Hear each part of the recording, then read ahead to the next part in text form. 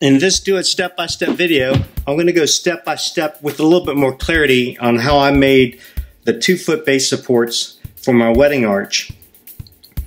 And it's raining right now. What I'm going to do is just show you how I made the measurements indoor inside my house without doing any cuts. But at least you know where to put your cut lines. And I'm going to demonstrate this on this scrap piece of wood. What you need to do is measure two feet for your base support.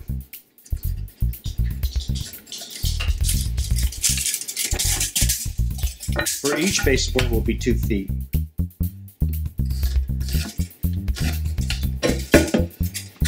And then you need to find the center, which is one foot. And this, this is going to be the top of the base support. And then you measure three quarters of an inch on each side because that equals one and a half inches. This piece of lumber is one and a half inches thick and you're going to make your half lap joint right here. So three quarter inches on each side will give you one and a half inches. And draw your lines.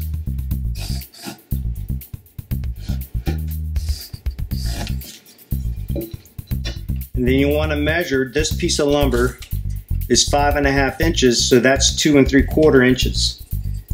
That is halfway.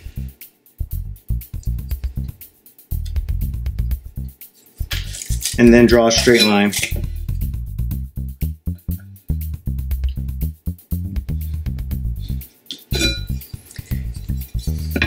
This is the half lap joint you're going to cut out for the base support. So this one is going to be cut. Now, since this is an inch and a half inch thick, let's come off this cut line an inch and a half.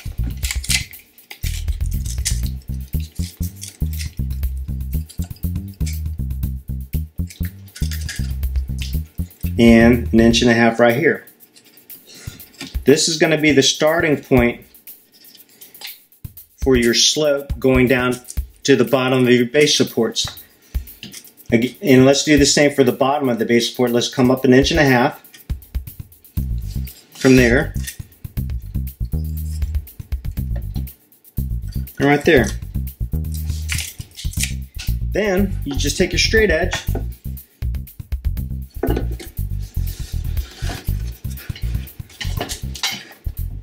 and draw a straight line connecting the two points together.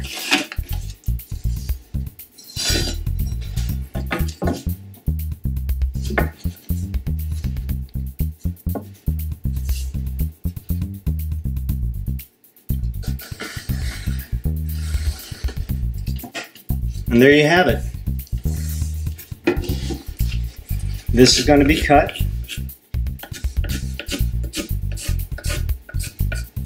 And all this is going to be saved to be your base report for your wedding arch. It's important to note that the base support will have the half lap joint cut on the top and then the bottom piece of your arch will have the half lap joint cut from the bottom that when we take the two pieces, they can join and give you a nice strong support. I hope that provides some clarity on how I made the base supports for the wedding arch. And if you have any questions or comments, please leave your thoughts in the comment section below. This is how I made my base support, and now you can do it step by step.